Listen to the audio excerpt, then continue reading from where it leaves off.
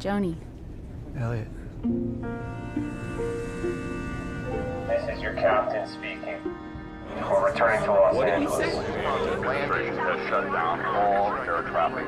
This country has been immobilized by these terrorist attacks.